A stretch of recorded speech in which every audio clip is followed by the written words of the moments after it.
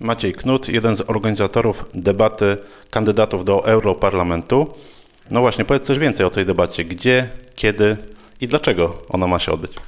E, debata będzie miała miejsce 16 maja 2014 roku o godzinie 17 w, w hotelu Bachus na ulicy Mickiewicza 21. E, celem debaty jest e, pokazanie mieszkańcom różnych opcji, które mogą wybrać podczas wyborów 25 maja. Chcę przede wszystkim, żeby mieszkańcy mogli skonfrontować swoje poglądy z poglądami 11 komitetów wyborczych, na które będą głosowali 25 maja, tak?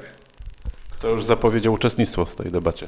A uczestnictwo w tej debacie potwierdziły już 4 e, z 11 komitetów wyborczych, wystawiając e, e, swoich kandydatów. Pozostałe, z pozostałymi komitetami jesteśmy w stałym kontakcie, jednakże jeszcze nie, nie, nie posiadamy nazwisk kandydatów, którzy przyjadą do Starogardu, ale pewnym jest to, że będą tacy kandydaci.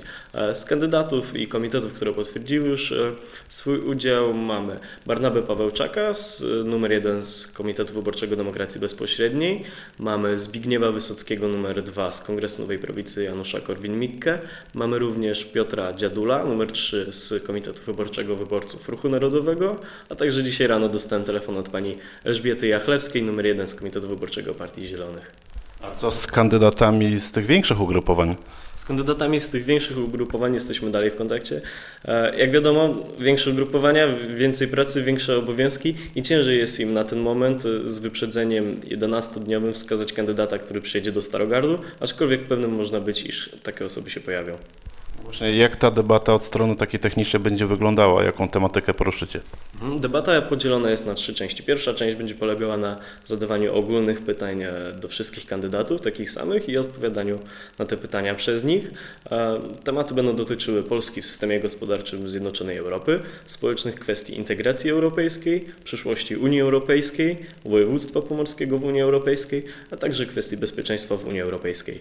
E, druga część będzie polegała na tym, iż każdy z kandydatów będzie mógł zadać jedno pytanie swojemu przeciwnikowi, nazwijmy to, i oczekiwać odpowiedzi na nie, a trzecia, trzecia część debaty będzie polegała na zadawaniu pytań publiczności przez publiczność kandydatom.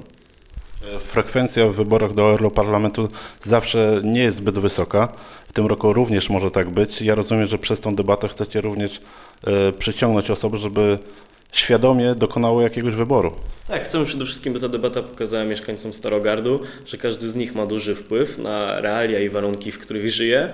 E, dotychczasowe, znaczy efekty dotychczasowej obojętności widzimy teraz. Ta obojętność rodzi różnego rodzaju patologie wśród polityków, jednakże chcemy pokazać, że to my, mieszkańcy, zwykli ludzie, jesteśmy najważniejsi i to my podejmujemy decyzje. Czyli co proponuję, żebyś jeszcze raz zaprosił wszystkich do uczestniczenia w tej debacie.